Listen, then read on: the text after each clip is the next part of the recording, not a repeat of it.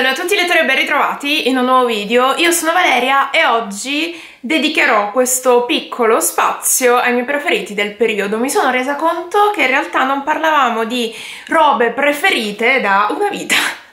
Qui su Read Vlog Repeat ho voluto mettere insieme un po' di oggetti che effettivamente mi stanno rendendo molto felice ultimamente o che mi stanno aiutando nella mia nuova vita. Detto questo direi di partire immediatamente. Partirei in realtà come faccio sempre all'interno di tutti i miei video dei preferiti con gli eventi ma mi sembra un po' sciocco perché ovviamente tutti vi aspettate che io parli del mio trasferimento a Milano ed effettivamente non potrei pensare a nessun altro evento che non sia questo questo perché è stato un cambiamento di vita allucinante da subire che ha assorbito completamente tutte quelle che sono state le mie energie, i miei pensieri, il mio fisico, tutto della mia vita nell'ultimo mese è stato votato a questo trasferimento nella grande città a 1500 km da dove vivevo prima.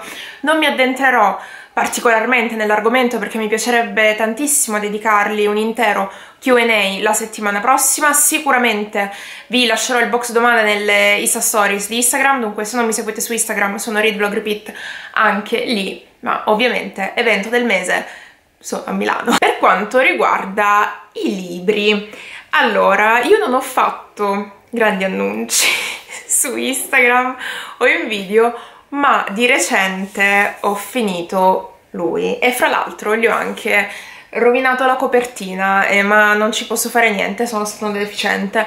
Lui, in ogni caso, è L'amore molesto, scritto da Elena Ferrante ed edito da Edizioni O al prezzo di 11,90 euro. Non c'è bisogno che io vi parli del mio amore nei confronti della Ferrante, non c'è veramente bisogno che io lo faccia e sono anche indecisa se dedicare un intero video a questo libro, magari un IGTV effettivamente, potrei dedicarli oppure no, vedremo. In futuro perché ho la sensazione che un video sul riassunto delle letture dell'ultimo periodo arriverà parecchio tardi su questi canali e io scalpito all'idea di parlarvi di lui. La Ferrante è il grande amore della mia vita e visto che praticamente mi mancano solo due suoi libri per leggerne l'intera bibliografia a meno che non escano nuove uscite, io ho deciso di tenermene uno all'anno. Dunque, a meno che la Ferrante non pubblichi nulla di nuovo, questo è il mio titolo del 2021. È stato il suo romanzo d'esordio e segue le avventure della nostra protagonista che viene a patti con la figura materna. La madre della protagonista muore in circostanze estremamente sospette, lei deve tornare al paese per il funerale, per le esequie e deve fare anche i conti con il proprio passato e soprattutto con tutto quello che ha tentato di dimenticare e di lasciarsi alle spalle. Inizierei col dire che non è il mio ferrante preferito. Il mio ferrante preferito rimane I giorni dell'abbandono, comunque troverete entrambi i libri linkati nell'info box e quello per me rimane inarrivabile. Subito dopo c'è la quadrilogia dell'amica geniale. Ma L'ho amato tanto, ma veramente tanto tanto tanto, perché ho visto tra queste pagine i germogli di tutta quella che sarà la Ferrante dopo. È stato molto strano per me approcciarmi al suo romanzo d'esordio dopo aver letto praticamente tutto il resto. È come se avessi visto qui la Ferrante al suo stadio primordiale. I temi ci sono tutti, conflittualità con la figura materna, eh, figura femminile, il dialetto, gli improperi, in dialetto le ambientazioni sono quelle, la voce interna narrante della protagonista è sempre quella, cioè è come se eh, io mi fossi ritrovata di fronte a tutti i grandi colonnati, ecco, che formano i palazzi immensi e geniali che sono i libri dell'autrice. Però effettivamente mi rendo conto che a livello di coinvolgimento, ecco, c'è stata una grandissima evoluzione fra questo romanzo e quelli che poi scriverà dopo. Io comunque me ne sono totalmente innamorata doveva finire qui e mi dispiace appunto di aver versato il caffè sulla copertina.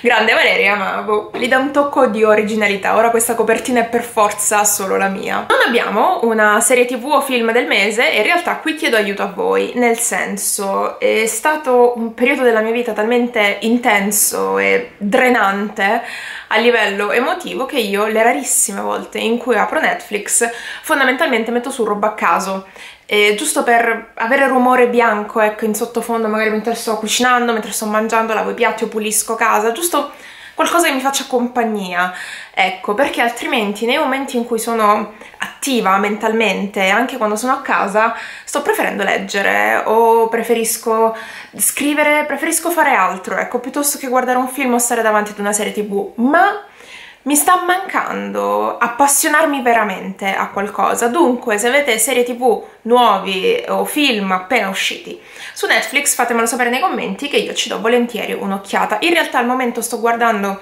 l'estate in cui imparammo a volare, penso sia quello il nome della serie, ma la sto guardando così, cioè per riempire un vuoto, per riempire un silenzio e non me la sentirei nemmeno di fare recensioni al momento o riesco a capire se mi sta effettivamente piacendo tanto o la sto continuando solo perché quando apro il computer la sera ho già la schermata aperta. Ecco, e altra cosa, non ho nemmeno un rossetto per la categoria rossetto del mese, questo perché mi sarò truccata nell'ultimo mese 5 volte praticamente, cioè tipo per girare video, per uscire un paio di volte. Questo è stato il mio rapporto col trucco nell'ultimo mese perché al momento sinceramente è l'ultimo dei miei problemi e dunque non, non, posso darvi, non posso far vedere un tubettino colorato qui all'interno del video. E di passare allora a quelli che sono i preferiti random, perché ne abbiamo più di qualcuno effettivamente. Io per questo video dei preferiti a Milano, il primo, ho voluto selezionare quello che davvero ha fatto una notevole differenza nella mia vita qui. Col fatto che appunto ho preso casa da sola mi sono trasferita in una nuova città, ho cambiato completamente stile di vita perché ora vado in ufficio tutti i giorni eccetera eccetera, io di acquisti nell'ultimo mese ne ho fatti praticamente un triliardo, non voglio nemmeno guardare l'estratto conto bancario, no, non è una cosa che questo mese può essere fatta però tante cose mi erano necessarie e sono state acquistate semplicemente perché mi servivano, quindi senza slancio d'euforia, qualcos'altro è stato uno sfizio mm. per rallegrarmi in un momento in cui magari ero un po' giù, altre cose invece sono dimostrate essere una combinazione delle due cose per cui io mi guardo intorno e penso caspiterina per fortuna che ti ho comprato perché altrimenti la mia esistenza sarebbe stata completamente diversa qui nell'ultimo mese e appunto ho tre oggetti in questa categoria. Direi di partire dal primo e secondo me dal più importante, ovvero il mio piumino. non entrerà mai nell'inquadratura ma io ho approfittato degli ultimi saldi di Zalando per prendere un piumino, questo qui è di Tommy Hilfiger ma sinceramente la marca insomma non è che mi interessi ecco l'ho pagato un terzo del suo prezzo originale e vi spiego qual è stata la storia. Io non ho mai avuto un piumino in vita mia, questo è il primo, che entra a, ora è il mio migliore amico, che entra a far parte della mia esistenza. Io sono arrivata a Milano col cappotto di lana. Io amo il, il mio cappotto di lana, però mi rendevo conto di aver bisogno di altri capispalla perché un cappotto solo non ce lo puoi avere. Dopo una settimana a Milano di pioggia, neve, sballottato da tutte le parti, ufficio, casa, eccetera, eccetera, io ho guardato il mio cappotto e ho pensato tu sarai morto nel giro di altri dieci giorni. Il mio piano era di avere quel cappotto e poi di farmi mandare da mia madre in un pacco gli altri due che ho, però sono sempre in lana, sono sempre ecco dei capi un po' più elegantini da uscita, ecco, non sono dei capi effettivamente da battaglia e gli ho pensato ok io fra una settimana non avrò più un cappotto mi devo comprare un piumino qualcosa che mi tenga effettivamente al caldo perché io stavo crepando di freddo nonostante il mio cappotto in lana sia in lana e volevo qualcosa che fosse impermeabile. Io ho sempre avuto una certa ritrosia nei confronti dei piumini. Però ho detto va bene vado su Zalando vediamo che trovo perché ne ho effettivamente bisogno voi non avete idea di quanto la mia vita sia cambiata da quando io ho lui. Ok, allora esteticamente, a parte che è un semplice coso nero, non è che sia la cosa più particolare del mondo, non è che mi faccia impazzire, non è che esalti le figure del mio corpo, ma questo affare è indistruttibile ed è la cosa più importante in assoluto. Perché uno mi tiene caldissima. Quando è arrivato ho avuto un attimo di panico perché in realtà non ho cercato in base alla marca o al prezzo vi ho detto non me ne fregava niente. Ho cercato in base al caldo dell'imbottitura volevo qualcosa che effettivamente mi tenesse al caldo perché vi giuro che tremavo. Io la prima settimana a Milano ho tremato e basta. Arriva e lo vedo così sottile e ho detto ok qui c'è qualcosa che profondamente non va questo coso non mi terrà mai al caldo. Invece a quanto pare l'imbottitura ha una tecnica particolare per cui riesce ad essere sottile non è uno di quei bomber tipo piumone ma io non sento niente. E ha nevicato, è successo qualsiasi cosa ho preso una taglia M. Se può essere di qualche interesse a qualcuno mi copre il sedere perché il mio sedere ha freddo in inverno le maniche fatte in questo modo quindi non passa aria dalle maniche, ha il cappuccio io sono felice, sono tornata a vivere nel momento in cui ho smesso di avere freddo 24 ore su 24 e ho smesso di preoccuparmi costantemente del fatto che il mio cappotto potesse letteralmente cadermi addosso, rotto, per sempre. Mi sono rilassata, ho preso un grosso respiro ed è andato tutto più o meno al suo posto. Questo cappotto è stato l'inizio della fine del mio panico da trasferimento. E ok, anche se l'ho pagato un terzo del suo prezzo originale è comunque costato un sacco di soldi, ma eh, probabilmente saranno i soldi meglio spesi della mia esistenza. Io veramente mi sono tranquillizzata a livello psicologico tantissimo dal momento in cui l'ho avuto. Altra cosa della quale necessitavo in maniera imbarazzante arrivata qui erano delle scarpe, perché voi dovete sapere che io ho solo un paio di stivali per l'inverno e poi ho solo scarpe da ginnastica in tela, questo perché ho sempre vissuto in climi in cui non pioveva costantemente, non nevicava e soprattutto non avevo un ufficio in cui andare, quindi insomma manco il bisogno di essere particolarmente formale, andavo dappertutto in sneakers, a meno che non uscissi la sera col tacco, i tacchi dimenticati comunque, dimenticati di vedere Rid Blockepetti in tacchi, da quando vive a Milano. Ho iniziato a usare su base regolare l'unico paio di stivali che avevo e si è verificata più o meno la stessa situazione che si è verificata col cappotto. Ci ho detto io questi stivali li perdo per strada se continuo ad usare solo loro. Su Zalando ne ho acquistati due trovati in saldi pazzeschi. Qui ve ne presento uno che è quello che sto usando di più e che mi piace veramente tantissimo e anche qui rappresenta una grossissima uscita dalla mia comfort zone perché di mio, vivendo in qualsiasi altra situazione, in qualsiasi altra città, non li avrei mai acquistati. E mi sono presa un paio di anfibi alti. Qual cioè, io non avrei mai, mai, mai pensato di spendere dei soldi, o comunque di desiderare di voler acquistare eh, mettetela come volete, delle scarpe così, ma ora che ce le ho penso, brava Valeria, grazie a Dio hai deciso di fare questa cosa. Li ho presi eh, talmente a caso, nel senso che volevo semplicemente un paio di anfibi che non ricordo nemmeno di che marca siano, aspettate che ve lo cerco. Ah, sono di Even Dodge, ho già avuto secondo me qualche loro capo, è solo che adesso non me lo ricordo, hanno comunque la cerniera, sul lato non sono in vera pelle perché questi qui li ho pagati veramente un'inezia, però sono molto comodi e se piove non mi entra acqua sul piede, le suole sono perfette per camminare su tutti i San Pietrini che Milano ha deciso di mettere sulla mia strada. Grazie.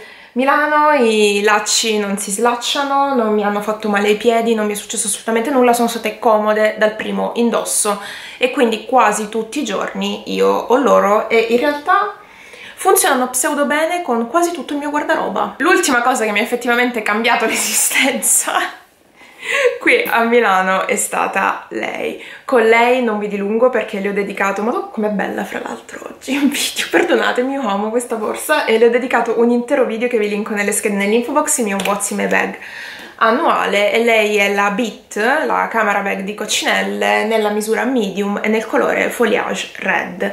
Lei al momento è la mia unica borsa che ho qui ad esclusione dello zaino ed è la mia borsa di Gucci con cui ho fatto lo stesso ragionamento che ho fatto col cappotto e lo stesso ragionamento che ho fatto con lo stivale ho voluto acquistare una borsa che fosse da battaglia e che andasse bene sia per l'ufficio, infatti nel What's in my bag vedete il contenuto della borsa quando è in ufficio, sia che fosse abbastanza carina, ecco, da essere usata anche quando sono nel mio tempo libero. Devo dire che per il momento io e lei stiamo diventando migliori amiche, cioè nel senso che la amo proprio tanto, probabilmente la mia migliore amica, qui a Milano e sono stati soldi splendidamente spesi perché mi sento molto più a mio agio, sono molto più organizzata.